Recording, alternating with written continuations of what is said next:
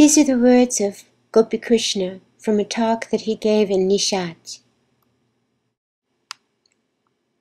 We've already discussed many aspects of the project How to Win Cosmic Consciousness, and in explaining the various aspects of it, I referred you to the views expressed in the Bhagavad Gita or to the sayings of the famous mystic Laleshwari to show you that restraint, not to the extent of denial or repression, absence of malice, absence of anger, non-violence, truth, love of the divine, devotion, sacrifice, and above all, selfless service in the name of God and humanity are the most potent methods to bring the mind in harmony with the cosmic laws that rule the evolution of human beings. After having gained some quota of self control and acquired the efficiency to sit in an asana with the back upright for a couple of hours, we can start the practice of meditation.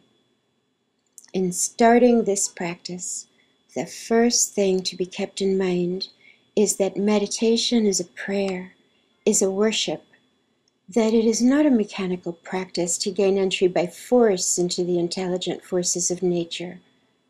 Such an attempt is foredoomed from the start.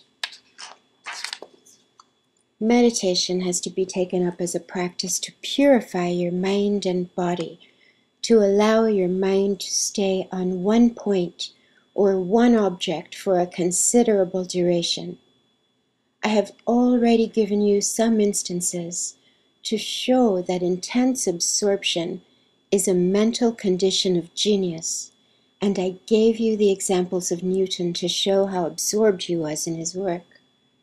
In every talented person, in every high grade intellectual, in every great artist, this power of concentration this power of absorption and attention to one subject is developed, is already present from birth.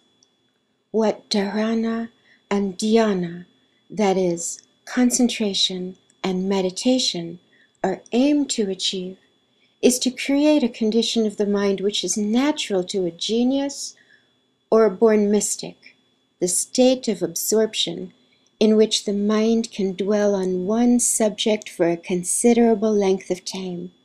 For instance, in the Bhagavad Gita, one method of concentration recommended is to fix the mind on the self, on the knowing self, on yourself.